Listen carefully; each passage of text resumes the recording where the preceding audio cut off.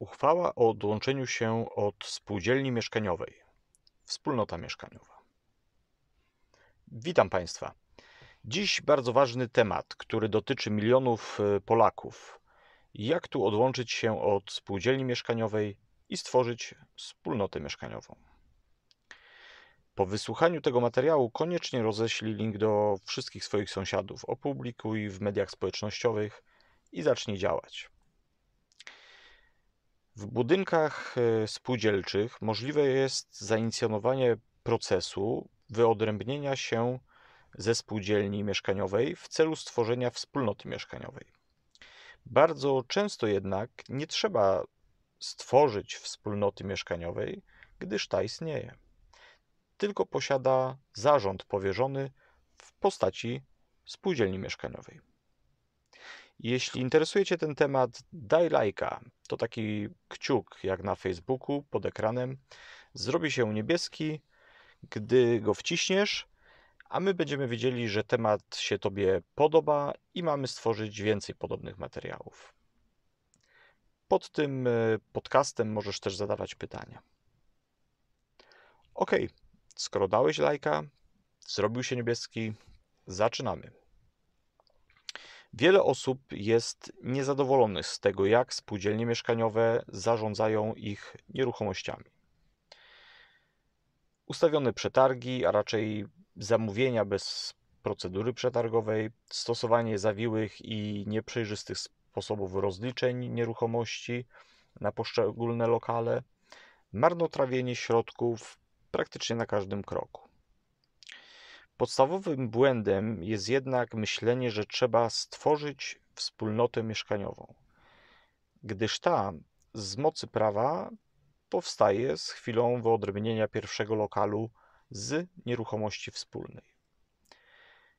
Dlatego pierwsza sprawa, aby zastosowanie miała ustawa o własności lokali, musicie nabyć lokal czyli stać się współwłaścicielem w nieruchomości.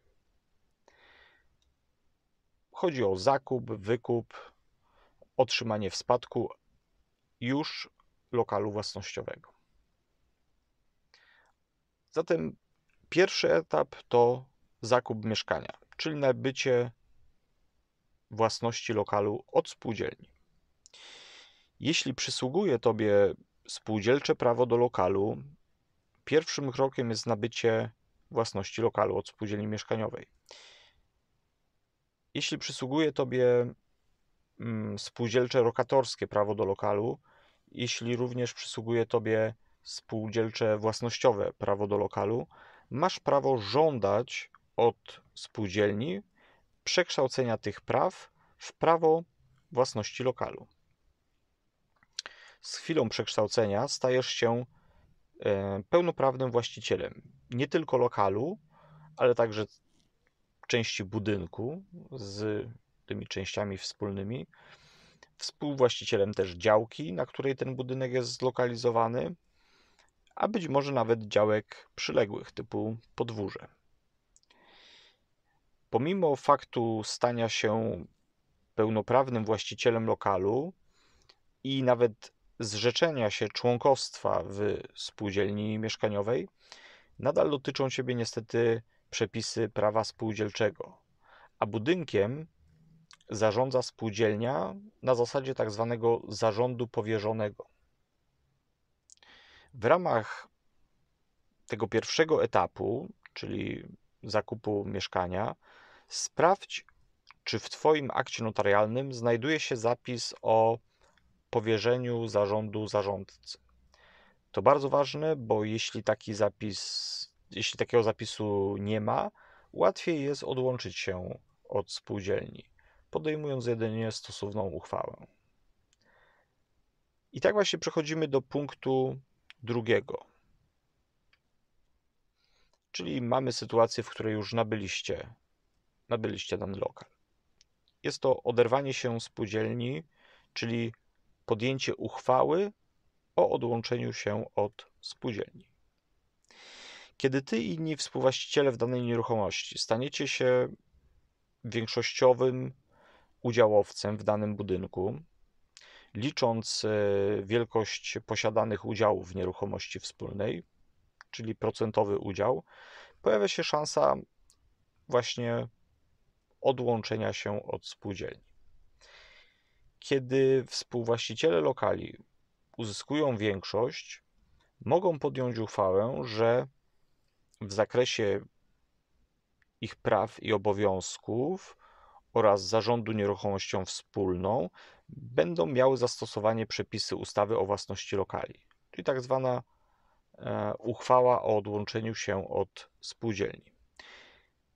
Taką uchwałę można podjąć na wniosek właścicieli lokali dysponujących co najmniej jedną dziesiątą udziałów nieruchomości wspólnej przez zarząd lub zarządcę, któremu zarząd nieruchomością wspólną powierzono y, w artykule 18 ust. 1 ustawy o własności lokali.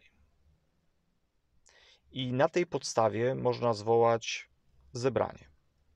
Zebranie w tej sprawie mm, powinien zwołać zarząd bądź zarządca danej nieruchomości, gdyż to jemu zarząd powierzono nadal.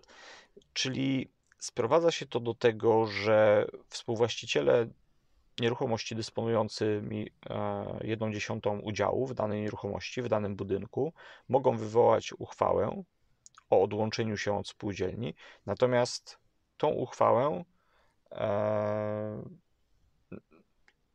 wykonuje zarząd, czyli między innymi zwołuje zebranie i przedstawia projekt do głosowania. Dlatego w przypadku braku podjęcia takiej uchwały, dopiero z chwilą wyodrębnienia własności wszystkich lokali w danym budynku a, i po ustaniu członkostwa w spółdzielni mieszkaniowej, mm, z, praktycznie no, automatycznie z, zostaje mm, na podstawie właśnie zapisów ustawy o własności lokali mm, zmieniony taki zarząd. Ok, czyli mając już e, tak zwaną wspólnotę mieszkaniową, e, musi ten zarząd powierzony, powierzony spółdzielni mieszkaniowej zostać przekazany e, w ręce na przykład osób, współwłaścicieli w danym budynku. I to jest właśnie ten taki etap bardzo ważny, trzeci. Mm, dlatego że samo mm, podjęcie uchwały o oderwaniu się, e, o odłączeniu się od spółdzielni e, mieszkaniowej spowoduje mm, wyodrębnienie wspólnoty mieszkaniowej z zasobów spółdzielni, ale zarządzać i tak tą wspólnotą zarządza nadal e, spółdzielnia mieszkaniowa. Artykuł 27 ustęp 2 ustawy o spółdzielniach mieszkaniowych stanowi, że zarząd nieruchomościami wspólnymi stanowiącymi współwłasność spółdzielni jest wykonywany przez spółdzielnię jak zarząd powierzony, o którym mowa w artykule 18 ustęp 1 e, ustawy o własności lokali. To już wspominałem. Czyli pomimo że jest wspólnota mieszkaniowa, nadal zarządzana jest przez spółdzielnię. Zarząd ten jest jedną z form zarządu powierzonego w ustawie o własności lokali, zatem nie wygaśnie automatycznie z chwilą podjęcia uchwały o odłączeniu się od spółdzielni mieszkaniowej. Aby zmienić zarząd, musicie podjąć już jako wspólnota uchwałę zaprotokołowaną przez notariusza o odwołaniu zarządu e, w osobie spółdzielni i na przykład wyodrębnieniu zarządu spośród współwłaścicieli nieruchomości. Od tego momentu w danej wspólnocie mieszkaniowej będzie działał zarząd wybrany przez Was. Czyli staniecie się e, całkowicie autonomiczną jednostką. E, zgodnie bowiem z artykułem 18 ust. 2a ustawy o własności lokali, zmiana ustalonego sposobu zarządu nieruchomością wspólną może nastąpić na podstawie uchwały właścicieli lokali zaprotokołowanej notarialnie.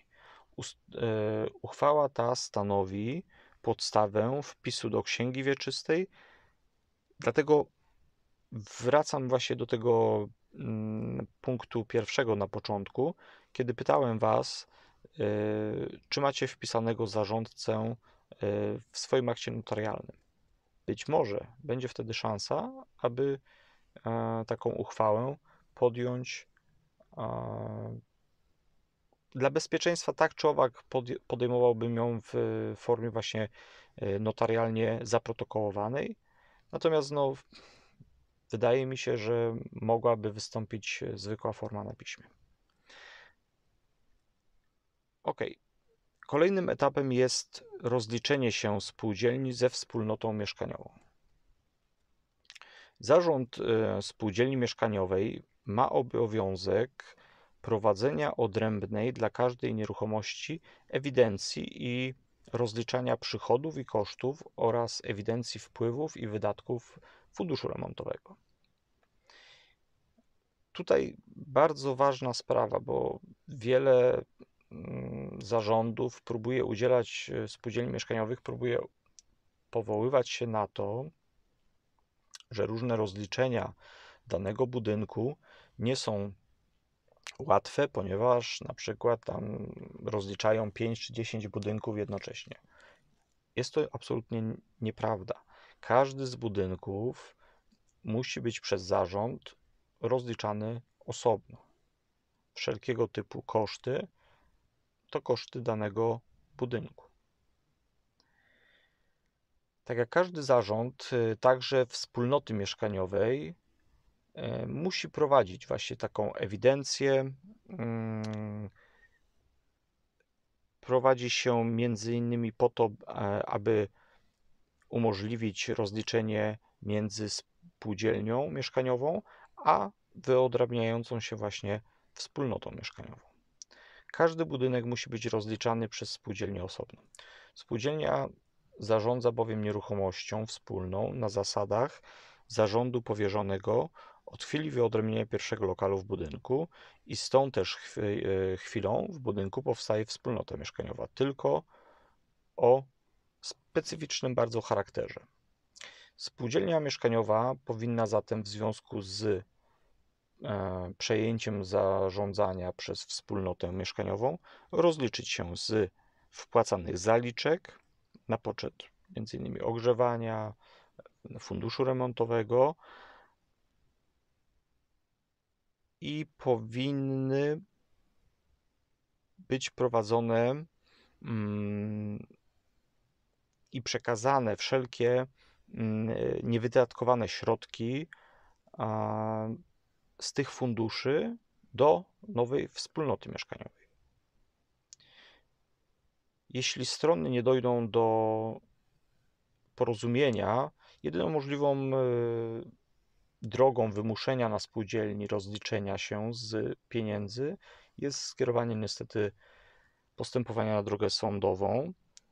E, w przeszłości bardzo często mm, w momencie wyodrębnienia się wspólnoty środki finansowe znikały i wspólnota mieszkaniowa zaczynała byt z nowym kontem i na koncie było 0 złotych.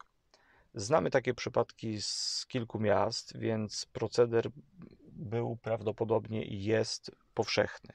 Także pamiętajcie, jeżeli wy odrębniacie się e, ze spółdzielni, spółdzielnia musi się z wami rozliczyć i przekazać środki finansowe, które są zgromadzone na poczet e, funduszy danego budynku.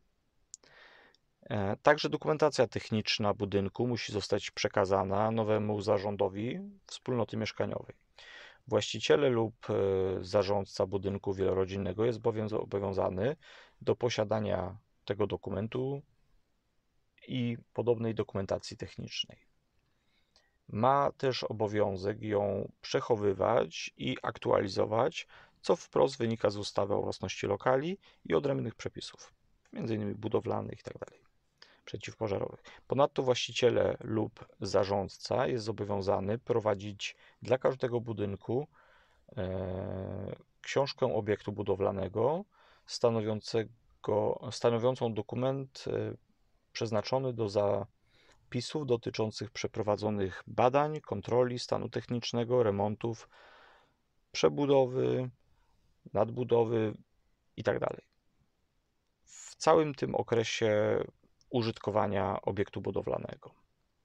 Tutaj przepisy całkowicie się yy, są dokładnie takie same, jeżeli chodzi o spółdzielnię mieszkaniową, zarząd yy, spółdzielni mieszkaniowej i wspólnoty mieszkaniowej. Protokoły z kontroli obiektów, oceny i ekspertyzy dotyczące jego stanu technicznego oraz yy, cała dokumentacja powinna być dołączona do książki obiektu budowlanego. Ok, czas na podsumowanie. Jeśli jesteś współwłaścicielem nieruchomości, czyli wykupiłeś swój lokal, swoje mieszkanie, e, jest zawiązana także z mocy prawa wspólnota mieszkaniowa tego budynku. Tyle tylko, że zarząd jest powierzony spółdzielni mieszkaniowej nadal. Możesz dotrzeć do takich dokumentów wspólnoty mieszkaniowej, która z mocy prawa powstała w momencie wyodrębnienia pierwszego lokalu, na przykład poprzez Urząd Statystyczny. Wspólnota mieszkaniowa, kiedy została powołana, został nadany NIP, REGON, wspólnota istnieje. Jeśli masz pytania, napisz w komentarzu pod tym, pod tym materiałem. Nie bój się, coś takiego jak wspólnoty mieszkaniowe są na całym świecie. Po prostu musicie zmienić zarząd swojej nieruchomości. Ta spółdzielnia, którą, której, z której działalności nie jesteście zadowoleni, jest przedsiębiorcą a, i musicie po prostu zmienić zarząd. Ale to już zupełnie inna historia na kolejne podcasty. Czy łatwo to zrobić, czy może bardzo trudno?